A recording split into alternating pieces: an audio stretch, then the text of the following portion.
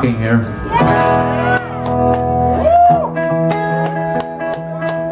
We're gonna play some down home blues now.